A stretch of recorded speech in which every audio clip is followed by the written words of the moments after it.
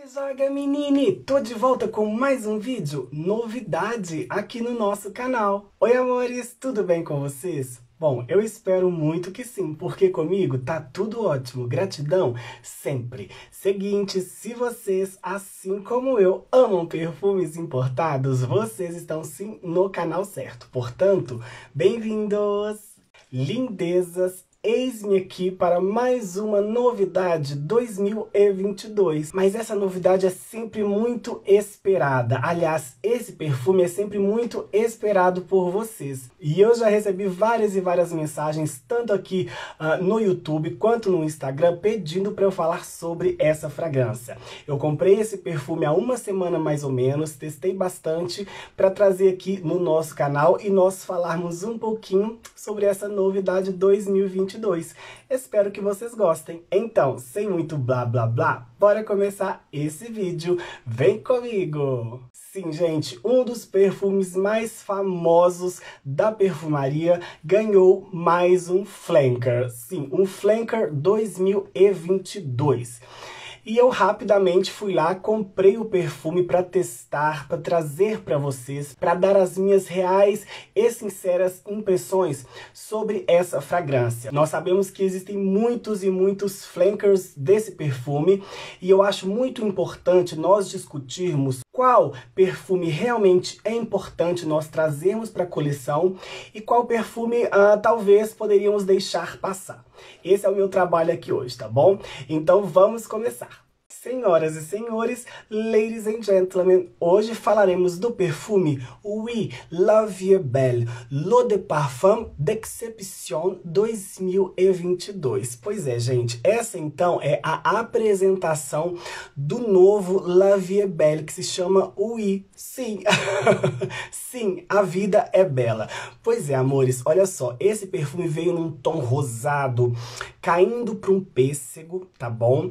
O lacinho muito famoso, né, na cor rosa apessegada, com glitter douradinho. O que falar dessa explosão de glitter, né, aqui bem ah, na frente do perfume, que simboliza o que? Um fogo de artifício. Sim, gente, dourado, com muito glitter mesmo, tá? Ó, a gente passa a mão, a gente sente o glitter. Ah, a minha versão é de 30 ml. Vem em três ah, volumetrias, a pequena, a médio e a grande. Todas elas com esse mesmo desenho, essa mesma característica, tá bom? Deixa eu mostrar também para vocês a caixinha, porque a caixinha veio diferente dessa vez, tá, gente? Vou explicar por quê. We Love You Belle, aqui vai estourar um pouquinho, mas eu sempre deixo um vídeo passando aqui para vocês, tá? Na luz real. Bom, aqui vem escrito We Love You Belle, l'eau de parfum d'exception, ou seja, sim, a vida é bela, excepcional eau de parfum. É essa a tradução. Bom, a caixinha continua sendo a mesma, tá, gente? A diferença é que, olha, quando a gente abre, não sei se somente aqui na Europa, acredito que não, né? Ah, vem uma frase escrita em francês e também em inglês. Aqui no meu caso, gente, veio com esse encarte branquinho, que é uma espécie de promoção para eu participar, tá? Mas olha que interessante, a diferença esse ano é que dentro da caixa principal, vem uma outra caixinha. Pois é, gente, simplesmente a mesma caixinha, com as mesmas escritas, do mesmo jeitinho, tá bom? Mas como é uma edição de aniversário, vieram então duas caixinhas, tá? O vídeo tá rolando aqui, fica mais fácil. A frase que nós temos aqui é a seguinte. Fêtez-se dix ans, dix ans de bonheur, dix ans avec vous. Merci. Pois é, gente, comemorando, né? Comemoração de 10 anos do La Vie Belle, a 10 anos de felicidade, é 10 anos com vocês. Obrigada. Bom, essa é a frase que vem aqui escrita na caixinha. Linda, né, gente? E nós já percebemos, então, que essa é sim uma edição dos 10 anos de aniversário do perfume La Vie Belle. Pois é, o perfume La Vie Belle foi lançado entre os anos de 2011 e 2012. E agora, em 2022, eles fizeram, então, essa edição comemorativa do La Vie Belle. O frasco é simplesmente precioso, gente. Assim como todos os frascos de La Vie Belle, eles não decepcionam jamais. Mas vamos falar um pouquinho sobre esse perfume. O perfume Oui La Vie Belle 2022 é considerado então um perfume floral frutado gourmand. Nós temos como notas de saída a framboesa, a pimenta rosa e a bergamota. Como notas de coração, nós temos a rosa e o ylang ylang. Como notas de fundo, nós temos a íris, o patchouli e as notas doces. Bom, essas foram as considerações técnicas, tá, gente? O que nos interessa aqui são as considerações borrifísticas. É verdade ou não é verdade, gente? Portanto, borrifemos You Belle, olha o borrifador, de Lancôme 2022. Ai... Pois é, gente. o que dizer, né? La Belle é sempre é sempre maravilhoso, tá? Vamos lá, eu não quero perder nenhum detalhe dessa fragrância. Quando eu borrifo esse perfume, automaticamente eu sinto a nota de bergamota, trazendo esse frescor mais floral. Não é uma nota cítrica azeda, tá bom, gente? É um frescor floral acompanhado, então, de uma framboesa. Mas o que eu percebi é que essa framboesa não é uma framboesa licorosa, charopada, como se fosse uma framboesa em calda. Não, aqui a framboesa ganha aquele lado mais ardidinho, aquele lado um pouquinho mais azedinho da fruta, tá bom? Então não se preocupem, não é aquela framboesa licorosa. E ela está bastante discreta nesse perfume, eu diria. Não é como, por exemplo, a framboesa do Anton Saumont, que eu já sinto uma framboesa bem doce, bem adocicada, bem mais licorosa. Aqui eu sinto muito mais esse lado um pouco picante da framboesa. Sendo sincera, sinto muito pouco a nota de pimenta rosa na saída dessa fragrância, tá, gente? Bom, a diferença principal desse La Vie Belle é a presença da rosa. Pois é, gente, a rosa de Esparta. Esparta é uma cidade da Turquia conhecida realmente como a cidade das rosas, onde nós temos assim uma excelente, uma maravilhosa plantação de rosas damascenas, rosas turcas, e é justamente a rosa que eu sinto nesse perfume aqui. E eu não sinto a rosa só como nota de coração não, tá, gente? Eu já sinto a presença da rosa bem na explosão de saída do perfume. Mas vejam bem, por mais que a rosa damascena é uma rosa muito proeminente, uma rosa frutada, adocicada, eu achei que aqui ela está bastante elegante. Ela não toma conta do perfume como se o perfume fosse um perfume de rosas. Vocês me entendem? Porque nós temos, por exemplo, o perfume La Vie Belle en Rose, que eu acho que as rosas tomam conta de todo o perfume. É diferente aqui. Essa rosa de Esparta, ela traz uma sofisticação e uma delicadeza maior. Não é uma rosa antiga, não é uma rosa vintage, também não é uma rosa pesada. Para mim é como se fosse uma rosa bem clarinha, cor de rosa clarinho mesmo, quase chegando no tom de pêssego. Aí eu concordo muito bem com o tom do lacinho desse La Vie Belle, porque a rosa que nós temos aqui não é uma rosa vermelha, não chega a ser uma rosa branca, porque ela é mais adocicada, ela traz esses, essas nuances de frutas vermelhinhas, né? Porque a rosa da maçã tem essas nuances, ou seja, ela acaba sendo uma rosa cor de rosa, cor de pêssego, é o que eu percebo nessa fragrância, tá? Então nós temos a presença dessa rosa nítida, um pouquinho ardidinha, borbulhante, sabe? Como toda rosa damascena, mas eu acho que ela não é exagerada, eu acho que ela não ficou cansativa, porque às vezes a nota de rosa pode ser sim um pouquinho cansativa, pelo menos para o meu olfato. Ah, então assim, não pensem que a rosa desse perfume é parecida com as rosas do perfume En Rose, porque o En Rose é muito mais floral do que esse perfume aqui. E eu dizia, né, antes que esse perfume teve como diferencial a rosa, mas nós temos ainda a íris, a íris pálida. Quando nós dizemos que é a íris pálida, nós queremos dizer que é a íris mais sofisticada, tá bom? São as íris mais caras, aquelas mais difíceis de encontrar na perfumaria, aquelas que custam mais, né, gente? E essa tonalidade, essa nuance de íris, ela tem um lado amadeirado, atalcado, uh, um pouquinho adocicado, mais elegante do que a íris germânica, por exemplo, que seria uma íris um pouco mais popular tá bom, gente? Estou falando também no popular para que vocês me entendam.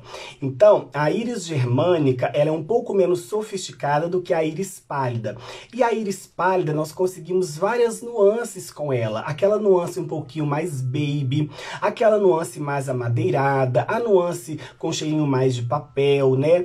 E a íris pálida é a que mais se assemelha, por exemplo, ao cheirinho da violeta, tá bom, gente? Então, quando eu digo amadeirada, uh, com essa nuance um pouquinho adocicada é porque ela se aproxima mais da violeta do que a íris germânica. E aqui nós temos muita íris pálida, tá, gente? Então, temos a rosa de Esparta, que eu já sinto na saída do perfume durante toda a evolução dessa fragrância, mas não é uma rosa exagerada, extremamente floral, não. Eu acho que a rosa tá até um pouquinho mais frutada do que floral. E temos essa íris pálida, que dá sim uma sensação meio que de um papel, meio que um pouquinho de maquiagem, né? Uma íris atalcada, mas não é seca de pó. As pessoas costumam confundir muito a íris, não confundir. As pessoas sempre dizem que a íris tem cheiro de pó e não é assim, gente. Depende da fragrância.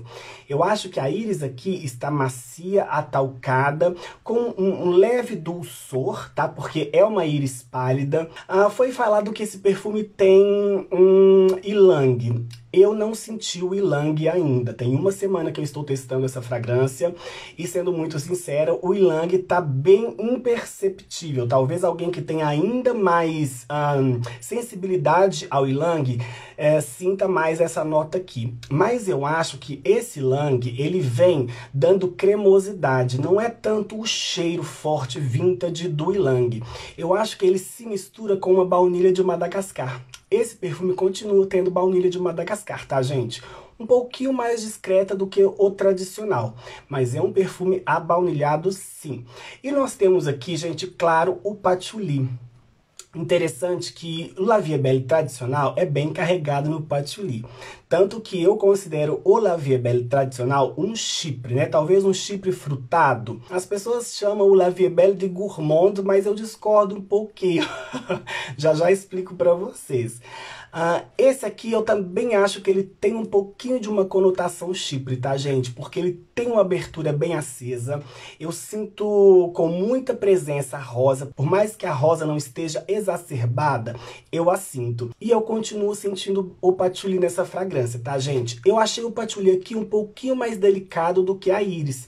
Eu sinto mais íris do que patchouli nessa fragrância. Diferentemente do tradicional, que às vezes eu sinto um pouquinho mais o patchouli. E incomoda muito muitas pessoas o patchouli tradicional, né?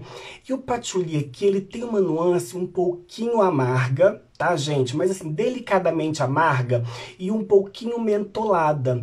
Se vocês sentirem assim bem a fundo a fragrância, vocês vão perceber que o patchouli, ele vaga do amadeirado pro mentolado e com um toquezinho amargo, tá? E para fechar essa fragrância, sim, gente, ainda sinto todo o DNA do La Vie Belle, que são aquelas notas gourmand. As pessoas dizem que é praliné, né? Porque quando a gente diz que o La Vie Belle tem praliné, nós estamos ah, querendo dizer dizer que não é um chocolate amargo, não é um chocolate seco. É uma nota cremosa, adocicada, cremosa. Vocês me entendem? Então eu continuo sentindo essa nota aqui nesse perfume, tá? Um pouco menos adocicada do que do tradicional, sim, porque nós temos a rosa.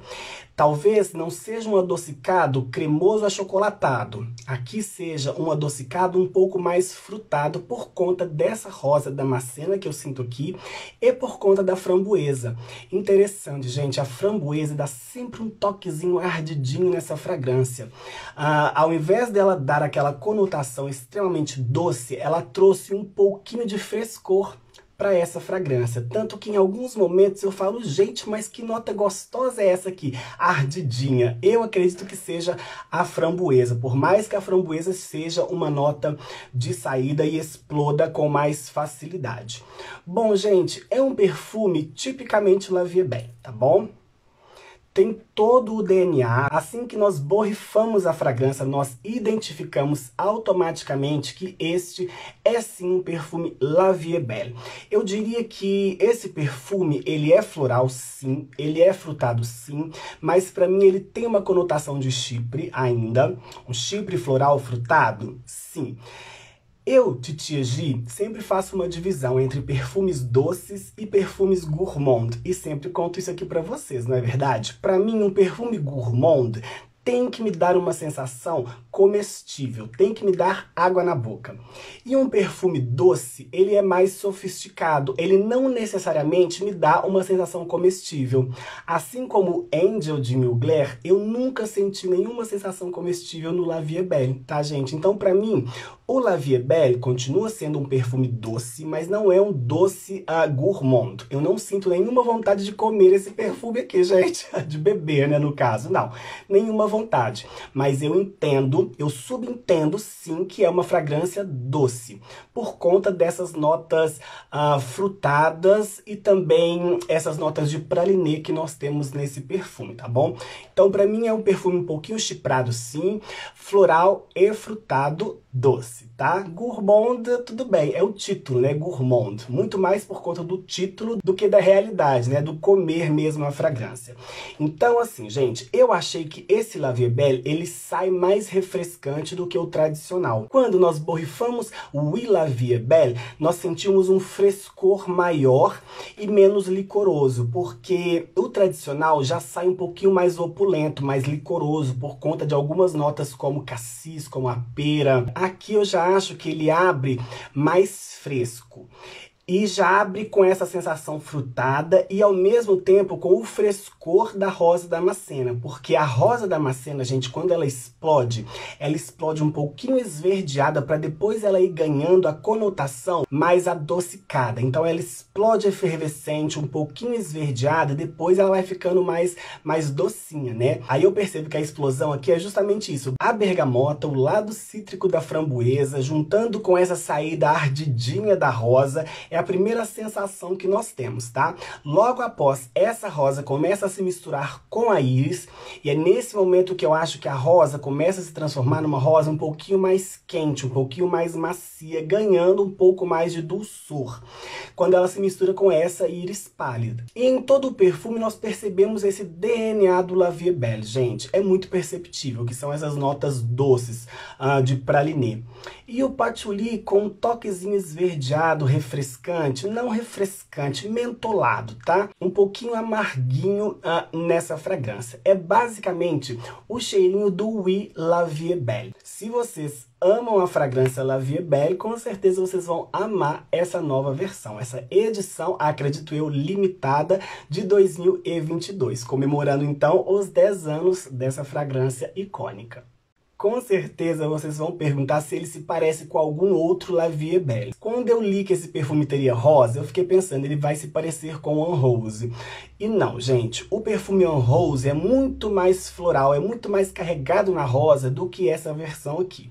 Para mim, essa versão se aproxima também um pouco mais da versão tradicional, porém com um pouquinho mais de refrescância e um pouquinho mais floral do que a tradicional. É como se nós tirássemos aquela sensação principalmente do início do tradicional, e colocássemos uma sensação mais refrescante e mais floral no perfume, tá bom? Então, para mim, esse perfume, essa fragrância continua sendo um flanker, sim, um bom flanker de La Vie Belle tradicional. Ele é muito mais próximo do tradicional do que do Un Rose, tá bom?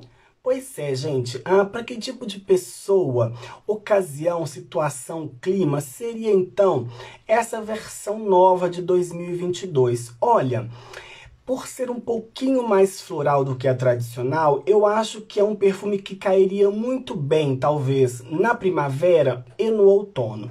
Bom, gente, La Vie Belle, pra mim, Titia G, não é um perfume de sol rachando, né? Mas eu acho que com poucas borrifadas, a gente consegue usar essa versão em qualquer clima, em qualquer situação.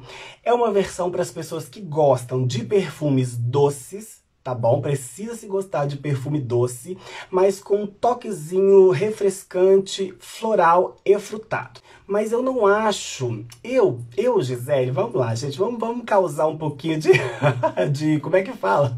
De contradição, né, aqui no YouTube. Eu não acho o perfume La Vie Belle uma bomba. Porque na minha pele, o tradicional que eu tô falando, ele não é um perfume bomba, tá, gente? É um perfume moderado. Ele explode forte e depois ele fica moderado. Ou seja, não é um perfume que me incomode tanto, como eu já percebi que incomoda muitas pessoas. Então, eu estou falando da minha experiência. Como o La Vie Belle não é um perfume bombástico, nenhuma versão do La Vie Belle na minha pele é sufocante, tá, gente? Mas é uma questão de pele, é comigo. E eu também moro numa região muito fria, tá, gente? Então, vejam bem, existem várias informações por detrás do que eu estou dizendo. O La Vie Belle tradicional na minha pele é um perfume moderado. Ah, então, assim, eu consigo, com poucas borrifadas, usá-lo em qualquer situação. Portanto, amores, na minha opinião, esse La Vie Belle é um La Vie Belle que cairia muito bem na primavera e no outono principalmente, ok? Titias G, se eu já tenho a versão tradicional do La Vie Belle, eu preciso dessa versão? Sendo muito sincera com vocês, eu acho que não. Depois de uma hora que esses perfumes estão na minha pele, por exemplo, eles ficam bem parecidos. Então, só sendo sincera com vocês mesmo, tá? Se a situação tá apertada, se vocês não são apaixonadas por esses perfumes, não fazem coleção, eu acho que este aqui é dispensável, tá bom?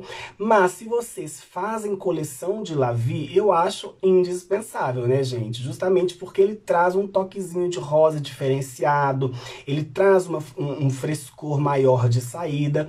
Então nós temos essas duas situações. Continuo achando este um perfume bem próximo do tradicional, mas ele tem sim as suas diferenças, tá bom? Nós recentemente vimos o lançamento La Vie Belle Blanche, uh, que veio um pouquinho antes desse aqui. E sendo muito sincera com vocês, o Blanche, ele tem uma pegada mais diferente, ele se afasta um pouquinho mais, ou seja, ele é um perfume mais convidativo para nós comprarmos, porque ele se afasta um pouco mais do tradicional do que esse aqui.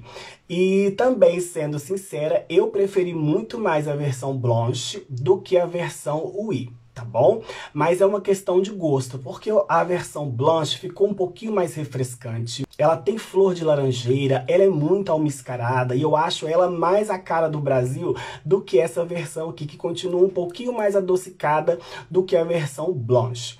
Então, por exemplo, uh, eu diria para vocês, entre essa versão e a versão blanche, pro Brasil eu ficaria com a versão blanche.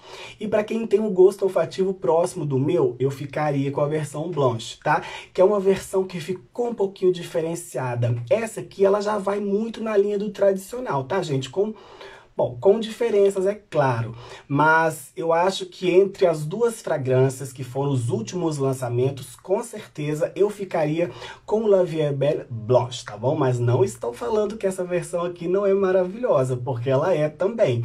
Mas eu achei que ela não teve tanto diferencial. Vocês me entendem? Quando eu estou tentando dizer para vocês compre esse ou não compre aquele, eu estou uh, trabalhando a questão da diferença, do diferencial da perfumaria. O Blanche, ele veio com um diferencial a mais. Quando eu estava fazendo os testes dessa fragrância, eu lembro que eu borrifei este em uma mão, o tradicional na outra e borrifei uh, no braço a versão Blanche. E eu comecei a perceber que a Blanche é aquela que se destacava mais. Por quê? Porque ela tinha um diferencial. Ela era mais alaranjada, mais almiscarada, sabe? Ela fugia um pouco mais do tradicional.